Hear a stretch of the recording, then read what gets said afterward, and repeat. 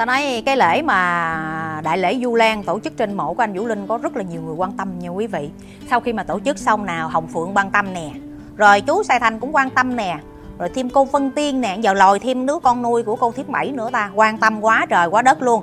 Bây giờ tôi sẽ chia sẻ cái gì ta tút của con nuôi của à, cô Thiếp Bảy nha quý vị. Trời ơi đâu ra nữa nè. Đây, những cái lời lẽ của em ta nói, dòm thì à, cũng còn nhỏ tuổi cũng là con nuôi của Thím Bảy, nhưng mà ghi dày đây nè quý vị. Ừ.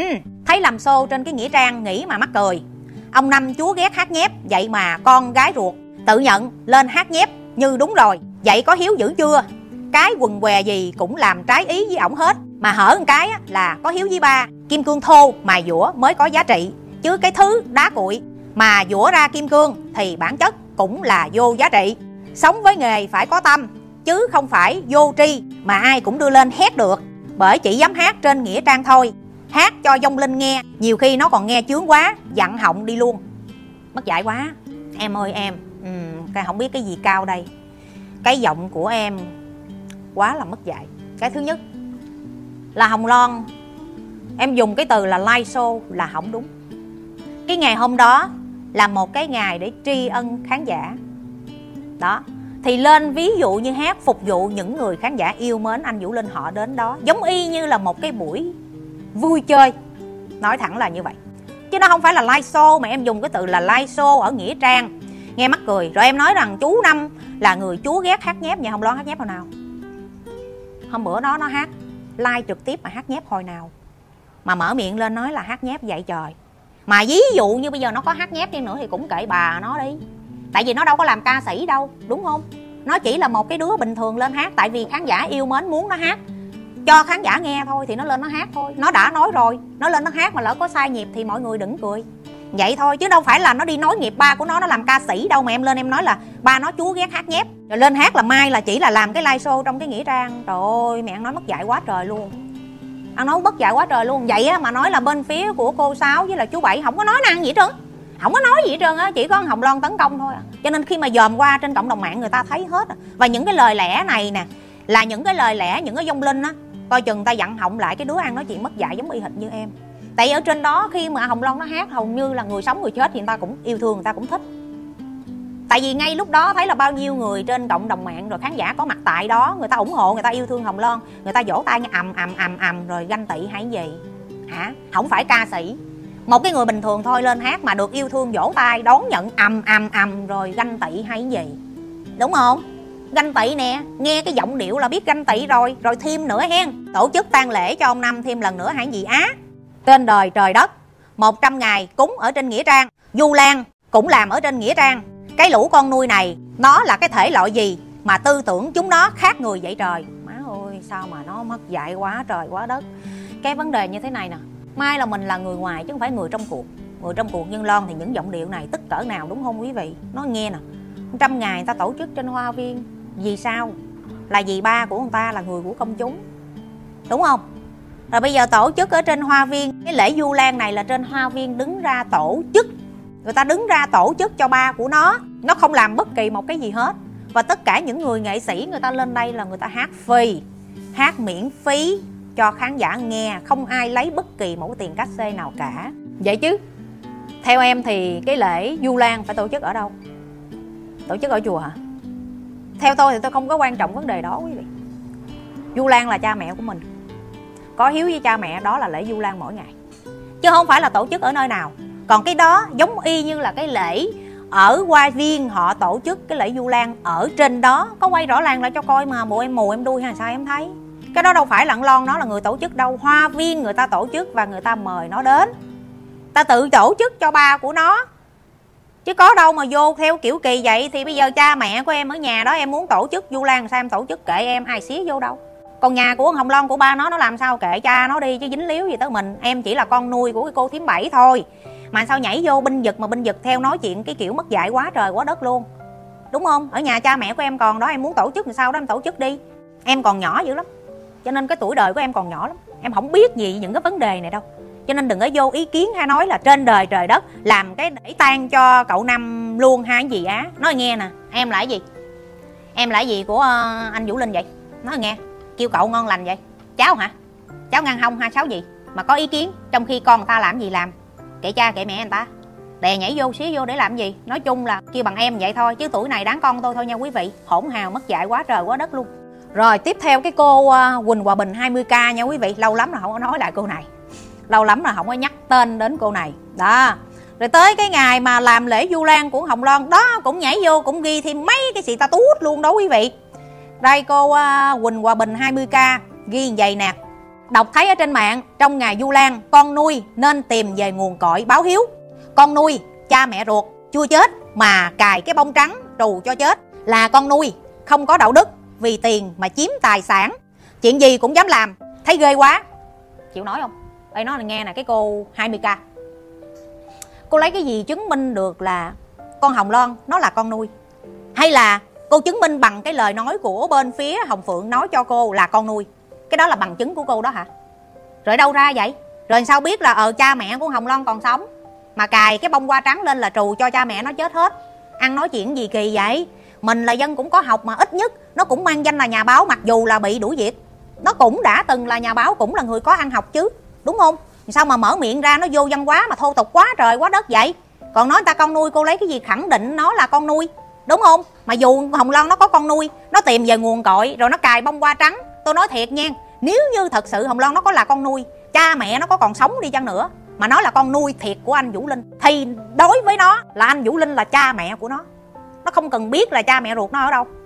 Đối với tôi, nếu đặt trường hợp tôi là hồng loan, mà dù là có biết cha mẹ ruột đi chăng nữa cũng không nhìn nữa. Tại vì ông bà bỏ tôi, để cho anh Vũ Linh nuôi tôi từ nhỏ tới lớn. Chỉ biết duy nhất anh Vũ Linh mà thôi, mà anh Vũ Linh mất rồi thì cài bông hoa màu trắng ở trên đây. Còn cha mẹ ruột có còn sống đâu, chả thèm nhìn, được không? Ảnh hưởng gì không? Mà sao tự nhiên nói là cha mẹ chưa chết, cài bông hoa màu trắng như là trù cha mẹ nó? Cha mẹ nó bỏ bỏ nó tôi nói ví dụ nhân nói theo cái lời của cô, nhà báo à, 20k nè là nói giống y hệt như cái lời của cô dù là cha mẹ ruột nó còn sống nhưng đã là bỏ nó rồi. Cho anh Vũ Linh nuôi rồi. Thì trong lòng nó chỉ biết anh Vũ Linh mà thôi chứ cha mẹ ruột chả nghĩa địa gì. Nếu đặt trường hợp tôi lặng lon tôi cũng chả nhìn sao tự nhiên nói là trù hết cho cha mẹ chết hết đồ này kia. Thấy ghê quá. Thì cũng kể mẹ kể cha người ta. À, ví dụ như cô đi. Là cô bị uh, cha mẹ bỏ. Để cho cha mẹ nuôi nuôi. Rồi giờ lớn lên cha mẹ nuôi của cô mất rồi. Cô có đi nhìn cha mẹ ruột không? Cô có đi nhìn không? Nếu cô nhìn thì tôi bó tay chứ đặt trường hợp là tôi tôi không có nhìn nhau nha. Tôi chỉ biết cái người nuôi tôi từ nhỏ tới lớn thôi. Người đó là cha mẹ của tôi thôi. Còn cha mẹ ruột mà đã vứt bỏ tôi rồi thì những người đó coi như người dân cài bông hoa trắng ngay chỗ này liền. Vậy cũng đè vô xỉa xối nói người ta nữa. Đang báo hiếu rồi tìm về nguồn cội. Trong khi đó cái đạo đức của mình không có mà mình mở miệng ra mình đè, mình dạy đạo đức người ta cách sống là sao? Trong khi đó bản chất, bản thân của mình, đạo đức mình cũng không biết nó như thế nào nữa mà mở miệng ra dạy người ta. Tôi lại cái cô nhà báo 20k này ghê đó quý vị. Rồi, tiếp theo thêm cái nữa nha quý vị theo như tôi theo dõi là tôi biết là hình như là cái cô này đang đi ở bên mỹ đó quý vị mà cũng vẫn uh, theo dõi để chỏ cái mỏ về để nói nữa thêm một cái nữa. Tại vì thật ra cái cô này viết rất là nhiều tôi ghét tôi không thèm chia sẻ nữa quý vị tôi không thèm phản biện cô này nữa. Cô ấy viết thêm cái này nữa trơ trẽn ăn cắp tiền bạc chiếm đoạt tài sản rồi còn ăn cắp chiếm đoạt cả danh phận tình thân ăn cắp chiếm đoạt không chừa một cái thứ gì cấu xé hào quang má ơi. Rồi đông dữ chưa? Đông lắm chưa? Chấn động chưa? 97 triệu dân Việt Nam, toàn thể cộng đồng mạng. Toàn bộ giới người sĩ lại chừng đó, thành phần đó trơ trẽn. Chửi để hãm hại, bịa đặt để hãm hại, lôi kéo, không thể có được tác dụng. Có ngày nhận ô nhục vì dối trá, độc ác, rồi cũng đến. Chó sủa thì mặc chó đi. Trời ơi, tôi nản cô quá ơi. Cô báo 20k Quỳnh Hòa Bình ơi. Trời ơi, lời văn của nhà báo đây quý vị. Ủa, trơ trẽn, ăn cắp tiền bạc. Tôi nói cho cô biết những cái lời đó chỉ dành cho công an khi người ta xác định có chứng cứ rõ ràng. Người ta mới dám mở miệng ra người ta nói câu đó. Còn đối với cô cô lấy cái gì khẳng định? Cô lấy cái gì khẳng định? Ha? Rồi nói là chiếm đoạt cả danh phận. Danh phận gì? Danh phận gì? Ví dụ như là bây giờ anh vũ linh, anh có hai đứa con. Ừ anh có hai đứa con. Mà một đứa con nuôi, một đứa là con ruột.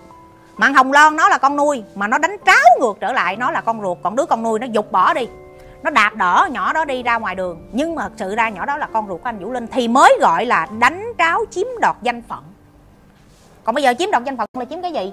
Cô nói tôi nghe, cô giải thích cái từ này cho tôi nghe là chiếm đoạt danh phận tình thâm là cái gì? Con hồng phượng nó là cái gì? Cô nói tôi nghe. Hồng phượng nó là cháu. Hồng nhung là cái gì? Là em ruột. Chứ có phải vợ con của anh vũ linh đâu mà dùng cái từ là chiếm đoạt danh phận tình thâm. Rồi ăn cắp không chừa thủ đoạn gì? Rồi sâu xé hào quang, đâu ra vậy trời? Cái gì vậy? Cái việc khán giả yêu thương đó là khán giả tự nguyện người ta cảm thấy yêu thương, chứ sao dùng cái từ chiếm đoạt được? Đâu có thể dẫn dắt khán giả được. Giống như hồng nhung với hồng phượng, là người ta, khán giả người ta quay lưng, người ta không yêu thương. Đó là việc của khán giả, chứ sao tự nhiên nó là tranh giành được? Cái này không có tranh giành được đâu nha cô.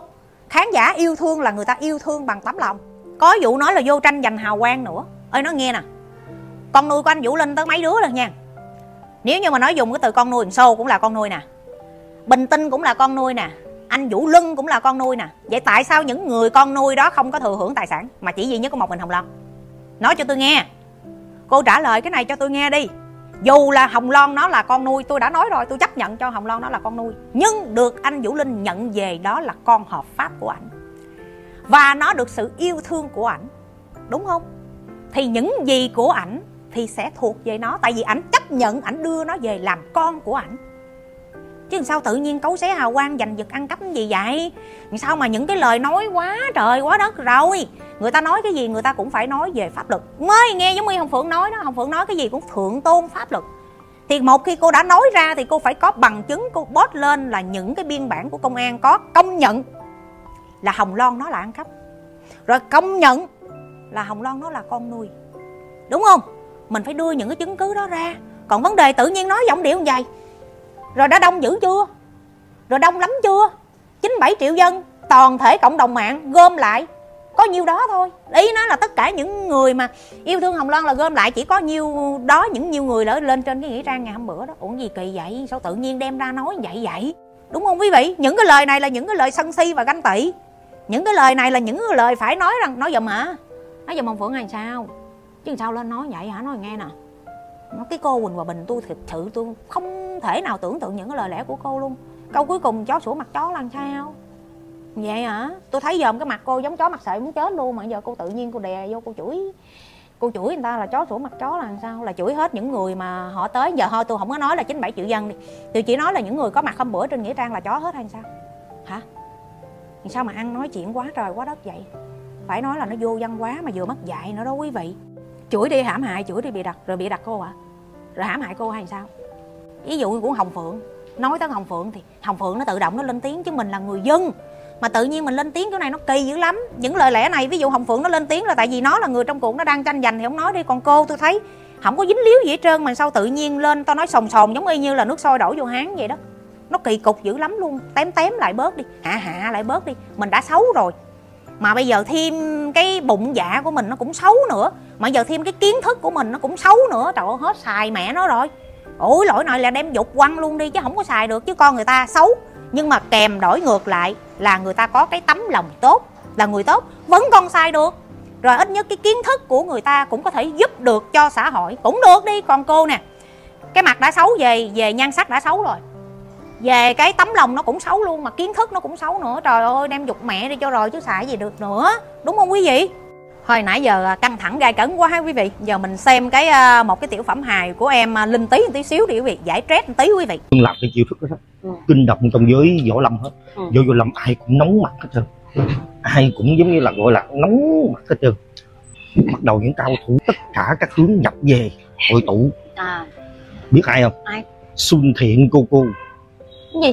Xuân thiện cô cô. Xuân tên tên bán nghe lạ thôi tại tôi không nhắc thôi. Ừ. lúc nào xuân thiện cô cô cũng âm thầm giúp đỡ cho thư ăn vặt. À. ghê chưa? Ừ ghê quá hầm quá. Ừ. thôi cởi nón ra cho mát đi. Ừ. rồi ừ. thêm hả? Thêm ai nữa? Linh tế tỷ tỷ. Cái gì? Linh tí hả? Không phải. Linh tí khác linh tế khác. Linh tế linh tế tỷ tỷ. Linh tế tỷ tỷ à ừ. Ồ như vật mới quá. Ở bên nước khác đó. À. mà hả cũng tức mình lắm. Đức mình tại vì có trong cái cái cái, cái bị cái nhóm nó hại luôn mà. Tôi biết rồi tôi biết rồi. Tôi có coi bài của linh tế tỷ tỷ. Rồi ai nữa? Bóc luộc ca mũi ca rồi còn mũi nữa. Là ừ. giới tính làm sao? Người ta giới tính lặng gái. À. ừ cái tên của ta là bóc luộc ca. À, tính lặng gái thêm chữ mũi tôi tưởng đâu là vừa ca vừa mũi nữa bắp là nữa này nữa kia. ca mũi ừ, à. tên chính là tên ca đó. À. à, đó bắp luộc ca mũi hả? về nhau cùng truyền công cho bạn quý nương nương. À. tao nói uh, linh tí đó quý vị. Nó chưa có nấu chè gì hết trơn hà mà nó đã thay đổi nó đặt tên của uh, Mission luôn. Rồi đó quý vị trời ơi xuân thiện cô cô. Má ơi tao đâu có tu đâu mà tự nhiên cái mày đưa lên phái nga mi luôn vậy quý vị đúng không tao nó đang yên đang lành ở nhà đang chơi hưởng phước với lại cháu nội. Tự nhiên nó đưa mình lên phái nga mi làm xuân thiện cô cô luôn á trời ơi.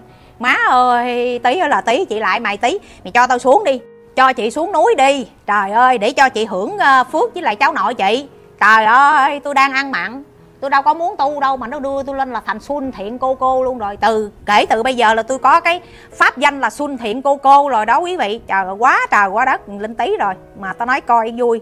Phải nói là cái ờ, linh tí á cái uh, gương mặt của nó rất là dễ thương quý vị. Gương mặt của nó là gương mặt hài chứ gương mặt của nó là không có uh, đóng uh, bi được nha quý vị. Gương mặt của nó là hài mà cũng thông minh sáng tác ra. Trời ơi cho tôi một cái tên phải nói là trời ơi xuân thiện cô cô. Má ơi quá trời quá đất rồi rồi qua cái tiểu phẩm vui này bắt đầu là mình sẽ chia sẻ về, về à, cô Vân Tiên nha quý vị. Cô Vân Tiên rất là khó chịu khi mà bữa đó nghệ sĩ lên ngay chỗ trên cái mộ của anh Vũ Linh hát và cô luôn luôn lúc nào cũng nói đó là bản quyền của tôi. Ừ, là tôi không cho phép người này người kia hát trời đâu ra. Nếu như mà nói vậy chắc là nghệ sĩ nhạc sĩ mà sáng tác ra mà không cho ai hát hết. Ủa vậy để mình hát hả? Cái bài hát của mình ví dụ như những cái nào mà của mình đưa ra mà được là khán giả được những người ở ngoài họ quan tâm họ hát tức là cái bài đó mình hay chứ. Mà ở đâu ra có cái kiểu không được hát vậy? Đăng ký bản quyền chưa? Đăng ký bản quyền là phải cho người nào hát đó.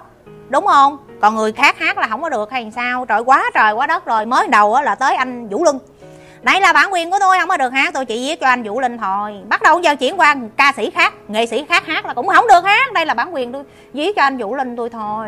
Cho anh vũ linh ca của tôi á, chứ người khác không được hát. Trời đất ơi, quá trời, quá đất ích kỷ rồi. Con người gì ích kỷ sân si quá trời luôn. Đây, những lời điệu của cô Vân Tiên viết như vậy đây quý vị. Sau cái buổi mà lễ du lan ở trên mộ của anh Vũ Linh về gửi tới anh nghệ sĩ cải lương ngân tấn làm ơn đừng có hát bài đăng đàn của Dân Tiên. Bài này Dân Tiên viết độc quyền cho nghệ sĩ Vũ Linh. Giọng hát trật tông, trật âm. Anh không đáng được hát bài hát này đâu Anh nghệ sĩ Ngân Tấn Má ơi quá trời quá đất rồi. Vô chê anh Ngân Tấn quá trời quá đất luôn. Ừ, Đầu tiếp. Thứ nhất Anh hát không có xin phép tác giả Vân Tiên. Thứ hai không biết vô tình hay cố ý mà anh Năm Vũ Linh có hàng ngàn bài hát, sao anh không hát? Mà anh lấy ngay cái bài đăng đàn này của Vân Tiên viết cho anh Năm Vũ Linh trong kịch bản Ngũ Tử Tư, phạt sở. Để gào thét, lạc giọng, lạc âm, không cho anh Năm Vũ Linh được an nghỉ hả? Trời đất ơi, má ơi. Hôm bữa nè, tôi nói với cô Dân Tiên. Hôm bữa là anh Ngân Tấn là anh nói rằng sẽ hát làm kỷ niệm tặng anh Vũ Linh 12 tuồng mà anh Vũ Linh đã đóng thì anh hát trong đó có 12 tuồng lận chứ đâu phải có một tuồng ngũ tử tư này đâu, cô. 12 tuồng lận. Vậy thì những cái bài kia, những cái tuồng kia mà anh hát chắc những cái à, soạn giả khác chắc người ta cũng viết đăng đàn lên, người ta kiện giống y hệt như cô người ta không cho hát hay sao? Đúng là con người ích kỷ quá trời. 12 tuồng của anh Vũ Linh chứ không phải là chỉ một bài ngũ tử tư. Nha, đọc tiếp coi. Thứ ba thứ ba là nói tới anh Vũ lưng đây quý vị. Bắt đầu nói tới anh Vũ lưng đây nè ta nói khi thương thì trái ấu cũng tròn ghét trái bò hòn cũng méo đó là vậy đó quý vị. Vân Tiên thì dòm vô, là cho rằng là hát lạc, giọng lạc âm gì không hay. Nhưng mà những người khán giả người ta yêu thương anh vũ linh, người ta yêu thương anh ngân tấn, người ta khen anh hát quá trời hay. Người ta khen quá trời hay luôn.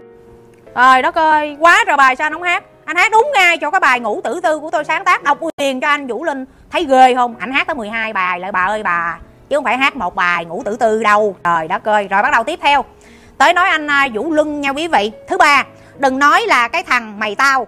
Nó suối bậy anh nha. Nó chôm cái bài nhạc này để hát trong cái tuồng gì vừa rồi của nó. Giờ bắt đầu nó rồi, mày tao nó rồi hen. Hết lịch sự rồi đó. Tôi nói với nó là chôm nhạc. Nó chối. Nó nói là cái bài đó là của nhạc sĩ minh tâm viết. Giờ nó quê, nó đẩy cái nhục đó qua cho anh. Nghệ sĩ cải lương ngân tấn, đừng để cái thằng mày tao nó nắm cái đầu anh như nắm râu con dế, vừa thổi vừa cười nha anh. Nhục lắm. Má ơi. Hôm bữa, tôi ngồi tại đó, nói chung nè, tôi không có thân với anh ngân tấn. Mà tôi cũng không có phải anh em gì với lại anh vũ lưng hết trơn. Nhưng hôm bữa đó tôi ngồi tại sân khấu, anh ngân tấn, ảnh ngồi anh nói chuyện với tôi chứ anh vũ lưng không biết gì hết trơn. Anh vũ lưng bên kia người ta có khán giả chụp hình từ lưa. Anh nói rằng ngày hôm nay anh sẽ hát 12 bài tuồng cổ của anh vũ linh đã đóng để làm kỷ niệm tặng ảnh. Thì khi mà lên hát dài vậy anh vũ lân ảnh còn không biết. Ảnh còn không biết anh ngân tấn lên hát là bài gì bài gì nữa đó quý vị. Ảnh còn không biết anh nói, trời hát nãy giờ dài quá rồi, mệt quá, không biết anh có xỉu không? Hát gần 40 phút mà trời nắng chang chang đó quý vị, mồ hôi của ảnh đổ à y hệt như tắm. Đó. Tiếp theo. Thứ tư, anh có biết lý do vì sao anh không có mặt trong cái kịch bản ngũ tử tư phạt sở không? Tôi nói ra thì anh mang nhục cả đời làm nghệ sĩ của anh đó nghệ sĩ cải lương ngân tấn. Mới gào khóc, đi gói trong cái tang lễ thất thứ bảy của anh năm vũ linh. Mà lật lọng theo cái đám nuôi, cắn lại gia đình máu mủ ruột thịt của anh năm vũ linh làm sao vậy anh? Anh có thể chọn cái cách im lặng như phần đông nghệ sĩ khác. Được mà hả? Ngộ.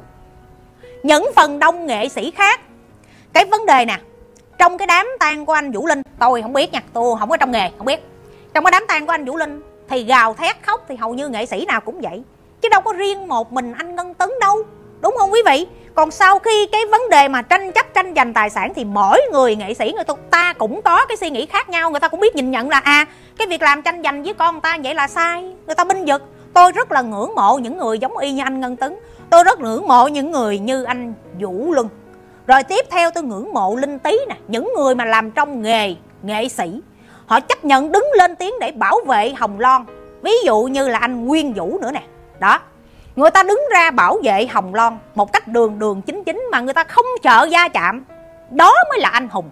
Còn những người nghệ sĩ khác, tại sao người ta không lên tiếng? Tức là người ta sợ đụng chạm. Và những người sợ đụng chạm thì những người đó người ta lo chén cơm manh áo của người ta. Người ta im lặng, người ta không muốn binh hồng loan mà người ta cũng không muốn binh hồng phượng. Nhưng trong câu chuyện này người ta thừa biết là bên nào đúng, bên nào sai. Nhưng mà cũng có những người á là người ta cái dạng giống y như là hai hàng đó quý vị. Thì tôi rất ghét những người mà hai hàng thà. Đúng đúng, sai sai. Binh là binh hỏng binh là hỏng binh tôi lại thích như vậy. Tự nhiên ở đây cô yêu cầu, cô gà vô nói là anh có thể im lặng giống y như những người nghệ sĩ khác được không hả? Đâu ra vậy? Người ta cũng có cái cách nhìn của người ta, tự nhiên ta thấy bắt người ta như mù. Tai người ta nghe mà bắt người ta như điếc hay sao hả cô vân tiên? Đúng không quý vị? Cho nên là những người mà đứng lên làm trong nghệ sĩ hay là làm trong showbiz mà đứng lên ủng hộ hồng loan những người đó tôi rất là đáng nể quý vị. Những người đó tôi rất là phục tại vì họ không sợ gia chạm bất kỳ một cái gì. Đúng là đúng sai là sai. Cho nên việc làm của anh ngân tấn là một, một cái việc làm phải nói rất là đáng tôn trọng đó. Không sợ vì cái xấu không sợ bị gia chạm không sợ đụng chạm chén cơm mà binh vực hồng loan. Còn giờ mở miệng ra nói là có cần để tôi kể ra cái chuyện xấu cho của anh để cho mang nhục không? Thì kể ra đi. Kể luôn ra đi. Đã một khi đã là không ưa rồi cái gai trong mắt thì cứ kể ra luôn đi dễ gì? Cái miệng của dân tiên thì dễ gì mà nín không nói quý vị? Đến nỗi mà nói chuyện với là anh vũ linh mà một cái người mà nói là tôi kính trọng ảnh nhất, tôi yêu thương ảnh nhất. Ảnh là cái gì? Cái gì? Ngủ ca của tôi đồ này kia mà ghi âm nói chuyện cá nhân còn đưa lên. Những cái việc cá nhân riêng tư còn đưa lên huống hồ chi anh ngân tấn mà tha đâu quý vị, đúng không? Rồi bây giờ quay lại nói cái vấn đề nè. Cái thứ nhất, tôi nói cái sự nhận xét của cô á, rất quất à. Về cái vấn đề con cái, về tình mẫu tử, cô nhận xét nó cũng rất quất rồi về cái vấn đề mà lực thừa kế lực tranh chấp tài sản đất đai ở việt nam cô cũng trớt quất không giống ai. Rồi vấn đề thứ ba là nói về trong nghề nghệ thuật với nhau.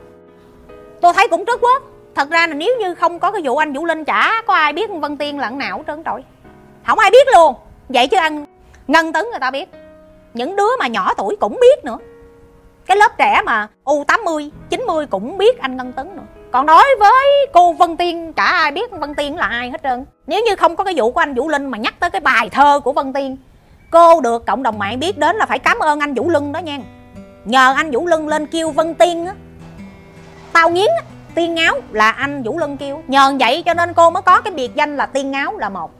Nhờ anh Vũ Lưng mà cô mới có cái tên Vân Tiên ngày hôm nay mà khán giả cộng đồng mạng biết đến cô đó. Chứ nếu như không nhờ anh Vũ Lưng á thì chả ai biết Vân Tiên là ai trơn trọi mà ở đó cô lên cô nói mang nhục người này người kia. Nói nào là mình là người sáng tác độc quyền cho anh vũ linh mà người ta chả biết cô là ai hết trơn trọi. Rồi bây giờ tới à, vấn đề chú uh, sài thành nha quý vị. Đợi tao nói cái uh, buổi du lan trên mộ của anh vũ linh vừa xong tao nói quá trời quá đất luôn. Hình như là kiểu như là đọc kinh hôm bữa đó là thầy chùa đến làm cái buổi lễ du lan á thì có rất là nhiều thầy đến tụng kinh nha quý vị. Ở ở hoa viên thôi chứ không phải là tụng kinh cho mã của anh vũ linh đâu. Ở hoa viên thôi là xong rồi bắt đầu là hình như là những cái âm hồn tháng 7 hình như là nó trỗi dậy hàng sau đó quý vị. Cho nên sau cái buổi mà du lan nó xong, tao nói những âm hồn này nổi lên quá trời luôn quý vị. Hồi nãy là âm hồn của ờ, cái thằng nhóc gì, con nuôi của cái cô kim thoa. Rồi kế tiếp nữa là âm hồn của cái cô nhà báo 20k rồi tiếp theo nữa là âm hồn của cái cô Vân Tiên ở bên Mỹ. Rồi bây giờ tới âm hồn của cái chú Sài Thành bên Pháp đây quý vị, coi chú ấy nói cái gì nè. Tôi nhớ không lầm là lúc người mất còn sống, một lũ vô loài ghé thăm người mất, họ rất là ghét cái đứa con của người mất. Vậy mà bây giờ hồ theo binh giật bợ nó như là tổ tiên của họ vậy, nhục ghê. Đúng là một lũ ô hộp vô loài. Kêu né cái tên của anh vũ linh ra đó quý vị. Kêu là người mất, chứ không có nói là anh vũ linh. Nói rằng là anh vũ linh hồi còn sống rất là ghét đứa con của anh vũ linh. Sao chú biết chú? Bây giờ cho là hồng loan nó con nuôi đi chú. Mà nếu không yêu thương sao nhận nó về nuôi chú? Chú nói chuyện nghe mắc cười quá chú ơi chú lớn tuổi, chú bảy mươi mấy tuổi rồi, chú cũng sắp xuống lỗ rồi, mà sao chú nói chuyện y như đứa nít mới đẻ vậy đó chú? Nếu như mà người ta nhận cái đứa con nuôi đó, người ta phải yêu thương nó bằng cả tấm lòng người ta mới nuôi nó lớn được. Chứ làm sao mà chú nói không yêu thương mà nhận nó về làm con nuôi chú? Chú nói tầm xàm quá chú. Rồi nói là quyên một cái lũ vô lòi ghé thăm. Chú chửi chú chửi hết, quơ hết những người mà người ta yêu thương anh Vũ Linh. Rồi bây giờ người ta yêu thương luôn cả con của ảnh. Nếu chú thật sự là một người bạn thân của anh Vũ Linh á thì khi anh Vũ Linh mất xuống rồi, chú phải thay thế ảnh để chú yêu thương con của ảnh chứ chứ có đâu mà. Không binh con người ta mà, cứ binh em với cháu ruột người ta hoài vậy chú. Bởi tôi nói rồi tôi nói rất là nhiều lần, giờ nói nữa nè chú. Chú với chị hồng nhung có vụ gì không? Có cái vụ gì không? Chú tôi nghi lắm, cái giọng điệu của chú nó kỳ cục lắm. Chơi với bạn thân mà không binh con của bạn mà lại binh em ruột của bạn. Binh cháu ruột của bạn nó có cái gì với mình mới vậy nè? Tôi hỏi thiệt chú chú khai mẹ nó đi thà nói mẹ đi, chú có cái mối quan hệ gì đó với lại chị hồng nhung để đây người ta biết. Là à thì ra ổng binh vậy là đúng rồi, là tại vì ổng với chị hồng nhung vậy vậy đó, cho nên ổng binh là đúng rồi thì nó cũng có lý chứ. Còn này không có liên quan gì hết mà đè binh vậy sao, biểu sao cộng đồng mạng người ta không nghi hả chú? Chửi gì quá trời quá đất, đúng là một lũ ô hợp vô lòi, má ơi, chú ơi là chú. Chú ở bên pháp, nhưng dù sao muốn nói cái gì cũng phải tìm hiểu luật pháp ở việt nam nha chú chứ đâu mà mở miệng ra tao nói nó trớt quớt mà nó ngu quá trời ngu luôn không lẽ giờ chú để cho tôi dạy chú hàng sao hả chú? Tự nhiên chửi một cái câu là bợ đích nó giống y như là bợ đích tổ tiên nhục ghê trời đất ơi chú. Bây giờ nè nói đổi ngược giờ nè. Đổi ngược lại cái danh phận lăng hồng phượng nó là con nuôi của anh vũ linh. Còn con hồng loan nó là con của hồng nhung đi. Ví, ví dụ vậy đó. Thì khi mà xảy ra trong cái vấn đề này chúng tôi cũng sẽ binh hồng phượng tại vì hồng phượng nó là con của anh vũ linh hợp pháp. Chúng tôi cũng binh chứ không phải là cái dạng mà đè mà binh bất chấp là giống y hệt như chú đó. Chúng tôi đang binh là binh cái hợp pháp của pháp luật việt nam nha chú. Còn chú là chú binh kêu tình cảm cá nhân. Còn chúng tôi binh là chúng tôi binh theo cái pháp luật việt nam. Đúng chúng tôi binh. Chứ thật ra chúng tôi đâu có biết hồng loan nó là ai. Đúng không quý vị? Mà đè chú nói là bợ đích giống như bợ tổ tiên. Cái câu này nhường lại cho chú mới đúng. Tại vì chú chú đang bợ đích hồng phượng với lại em hồng nhung của chú, như là tổ tiên của chú vậy. Mặc dù là chú bị chửi quá trời luôn, chú vẫn lên, chú binh, chú la hét, la trời đủ thứ. Trong khi đó là những phần 4 hình như là phần 4 tôi cũng đã nói rồi, tôi nói về vấn đề là chú than, khóc than gào nói rằng là hồng nhung của chú, hồng phượng của chú, ruby của chú là ở ngoài đường, không có nhà ở, chú khóc quá trời thì tôi đã nói rồi, mình anh hùng quá, mình thương quá, mình rước về mình nuôi. Đúng không? Dù hồng loan đó là con nuôi nhưng mà tài sản đó nó hợp pháp, nó hưởng được chứ em hồng nhung với lại con hồng phượng của chú á, là không có được hưởng được đâu. Cho nên là chú muốn thì chú đem về chú nuôi rồi chú cung phụng nó đi. Chứ mắc mới gì tự nhiên đi dành trong khi đó tài sản đâu phải của chú đâu. Của bạn chú mà. Thì của bạn chú thì người ta để lại cho con người ta chứ làm sao chú đè chú nhào nhào vô chú muốn dành cho em yêu của chú. Đúng không chú? Thương quá, đem về nuôi nó đi, cung phụng cho nó. Cho nó đầy đủ luôn, chứ mắc cái gì mà tự nhiên vô đè chửi quá trời, quá đất vậy chú? Trời ơi tao nói một cái con người mà đi ngược lại với lại anh vũ linh là chú đó, chứ không phải những